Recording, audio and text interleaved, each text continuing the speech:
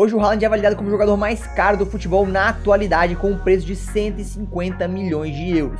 E mesmo com um valor tão alto no mercado, o preço para a saída do norueguês do Borussia pode ser ainda maior, velho. Esse alto valor é apenas consequência do que o Haaland está fazendo com a camisa do Borussia. A verdade é que ninguém no futebol mundial nos últimos dois anos tem uma média de gols melhor que a do Haaland. Nem mesmo Cristiano Ronaldo, Messi, Mbappé ou Lewandowski.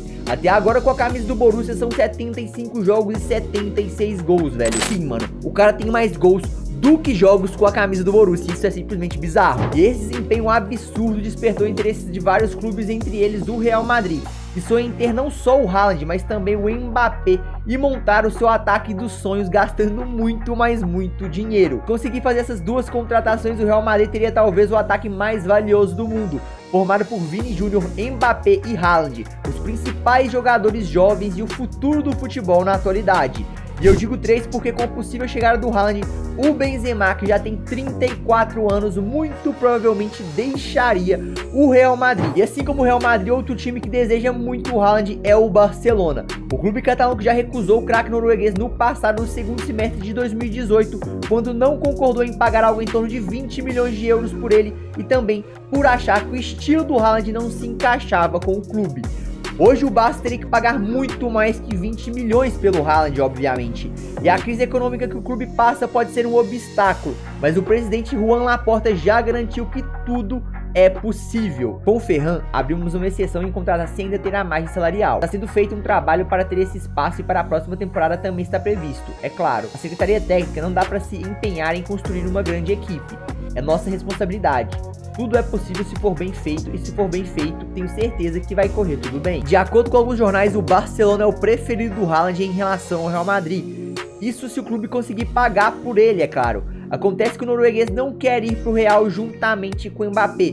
Eu acho que ele meio que não quer dividir protagonismo, mano, porque eu tenho a impressão, basicamente, que o Haaland é sim um pouco estrelinha, porque ele sabe que ele é brabo, tá ligado? E não é só na Espanha que querem o Haaland, velho. Partindo pra Inglaterra, a gente sabe que um dos clubes que tem mais dinheiro é o Manchester City, e apesar de ter muitos bons jogadores à sua disposição, o Guardiola não possui um grande centroavante em sua equipe. E o Haaland, sem dúvida, tem todas as características para preencher essa vaga. E de acordo com o jornal Sport, da Espanha, esse é o principal motivo que levará o City a ir com tudo pra cima do Borussia e tentar fisgar o Haaland pro seu elenco. Eu particularmente acho que esse é o melhor destino pro Haaland porque ele estaria jogando nos melhores times do mundo, seria muito bom para ele, e também estaria sendo treinado pelo Guardiola. Ou seja, o City ia ganhar muito tendo o Haaland e o Haaland ia ganhar muito sendo treinado pelo Guardiola. E ao contrário do Manchester City, o Manchester United possui vários atacantes em seu elenco, entre eles o Cristiano Ronaldo e o Cavani. Mas mesmo assim, vários jornais apontam que o atual time do CR7 é um dos destinos possíveis para o Haaland. Todo mundo sabe que a família dona do Manchester United possui muito dinheiro e o clube está sem técnico definido atualmente.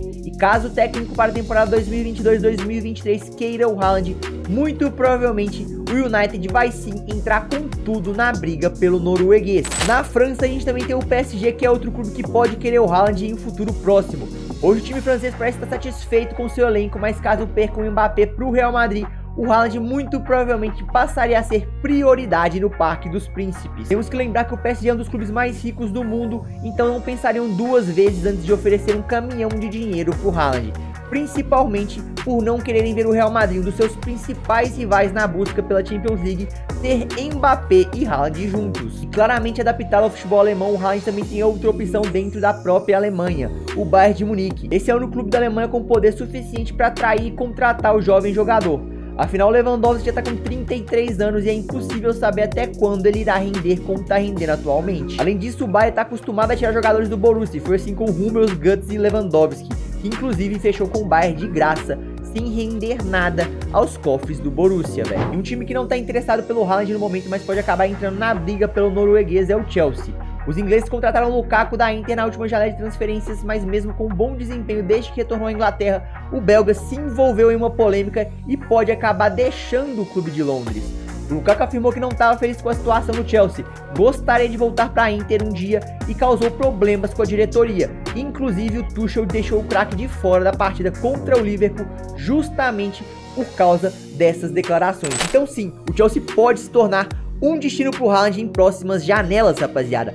Hoje a galera falou que o Lukaku já tá de boa com o Chelsea, mas mano, só o tempo dirá se isso realmente é verdade, velho. A gente vai ter que aguardar, aguardar o final dessa temporada para ver se tá tudo bem mesmo entre o jogador belga e o time inglês. A verdade é que, na minha opinião, acho muito difícil que o Haaland deixe o Borussia ainda nessa janela.